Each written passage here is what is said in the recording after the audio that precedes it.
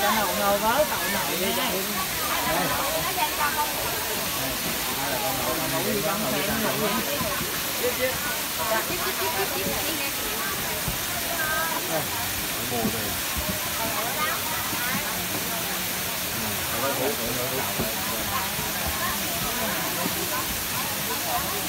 đi nha nấu cô qua đây ngồi cũng được cô. Qua đây ngồi.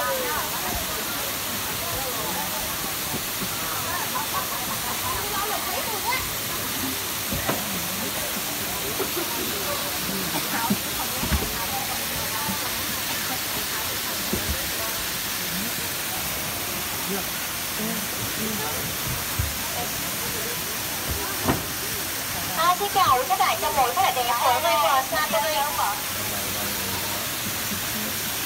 hiện tại đang trong mùa dịch nên em xin phép đeo khẩu trang ạ. Trong quá trình di chuyển khi quay phim hoặc chụp hình, quý khách vui lòng tắt chế độ đồng và lái vì đôi mắt của các bạn đồng vật rất là nhạy cảm. Tương sau các vui lòng tự bảo quản ạ. Còn ở phao thì đã được thiết kế dưới ghế ngồi.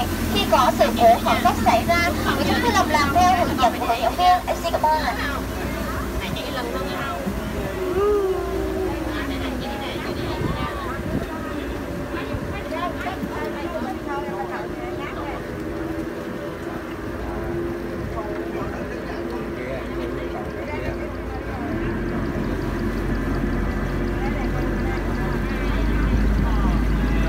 đầu tiên ở phía bên À, tay phải ạ, bên tay phải. Đây là nhà của bạn ruột túi xám hay còn gọi là cây vô hương. Còn đây là biểu tượng của nước ốc nhà. Đây bên tay phải.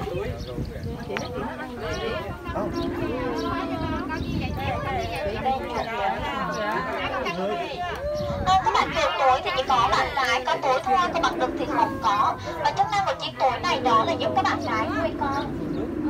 Tiếp theo, ở phía bên tay phải nữa đây là bạn Linh Dương sừng kiếm ạ. Và sừng của bạn ấy có thể dài lên tới một mấy khi bạn trưởng thành. Và như thế này là bạn ấy đã trưởng thành rồi.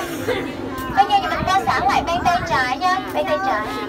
À, các bạn có sọc vàng này, đây là bạn ngựa vàng. Ngựa vàng. Ờ, à, và mỗi bạn người văn thì sẽ có những sọc đen trắng khác nhau ở trên cơ thể. Và không bạn nào giống bạn nào cả cũng giống như vân tay của chúng ta vậy. Bây giờ những sọc vàng này thì con mong sẽ biết đâu là bố mẹ mình. Ngoài ra con mong còn nhận biết bố mẹ không mùi và tiếng kêu của bạn nữa. còn cái bạn có của lông màu nâu này ạ. Đây là bạn linh dương đông phi đây đi chợ thì có khoảng 90 loài linh dương thì bạn linh dương đông phi này là loài lớn nhất ở trong 90 loài nha. Bạn này chưa có trưởng thành đâu ạ. Vì khi trưởng thành thì bạn đừng có thể nặng tới 900 kg còn bạn cái thì nặng khoảng 600 kg ạ. Đây như mình quan sát các bạn mà đứng bên cái cây tre bạn đó đã trưởng thành rồi đấy là rất là to luôn. Bạn đó đã trưởng thành rồi nha một bạn này chưa trưởng thành ở đây thì mình quan sát lại bên tay phải nha, bên tay phải.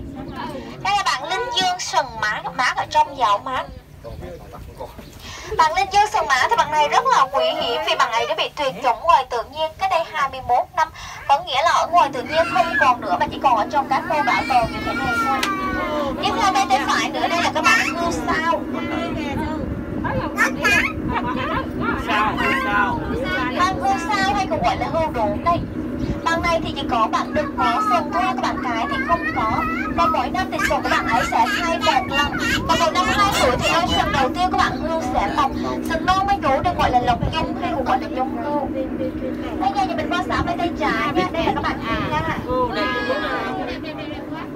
Thiên Nga đen thiên nga trắng đây là thiên nga bình trắng cổ đen và các bạn thiên nga bình trắng cổ đen này là một loài riêng biệt chứ không phải bị lai đâu còn cái bạn có cái mỏ dài và màu cam kia đó là bạn giang sen hay còn gọi là cò lậu một loài chim rất lớn. Bây giờ thì mình quan sát phía xa hơn nữa nha. À, đó là các bạn hồ cao cổ Đang vâng, hiện tại thì các bạn hươu cao cổ ở đây bạn ấy cũng còn nhỏ thôi. Nếu bạn cao khoảng 1 mét Và khi trưởng thành bạn ấy có thể cao tới 6 mét và nặng khoảng 2 tấn ạ.